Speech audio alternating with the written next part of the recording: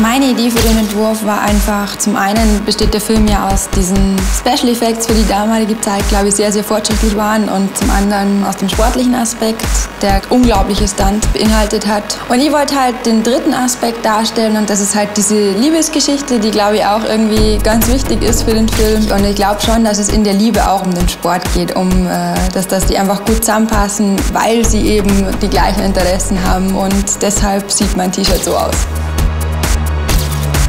Jeder, der den Film kennt, der weiß, dass das eben der erste Kuss ist in dem Film. Aber ich glaube, jeder kennt einfach gewisse Szenen aus dem Film, die ja doch auch, äh, glaube ich, einen schon auch geprägt haben. Und auch für mich als Snowboarder bedeutet das sehr, sehr viel, weil das einfach einer der ersten Filme war, der auch so dieses Snowboarden so gezeigt hat. Ich glaube, es war einer der ersten Snowboard-Filme, der so hochwertig produziert worden ist. Und deswegen ist das, glaube ich, schon auch was Richtungsweisendes gewesen für die Snowboard-Szene.